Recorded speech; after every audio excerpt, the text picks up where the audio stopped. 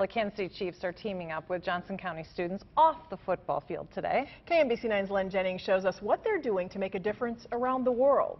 This is the warehouse at Heart to Heart International, and they service the world when it comes to disaster. These boxes are filled with medical equipment as well as emergency supplies, and they're helping out countries like Nepal, devastated by the earthquake, and Liberia, ground zero for the Ebola crisis.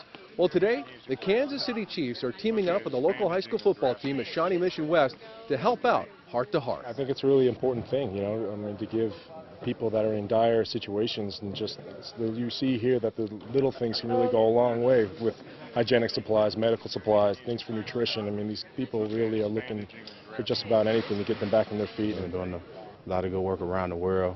Uh, they seem like they they come in in the clutch right in time, man. So uh, what they do uh, for for people in need is, is tremendous. So just here trying to help them uh, stay a step ahead. Putting together these care packages and learning about these tremendous relief efforts that go, they seem like simple things, but they go a really long way. The earthquake in Nepal depleted supplies here at Heart to Heart International. The boxes that they're putting together right now, they're going to be ready for the next time disaster strikes.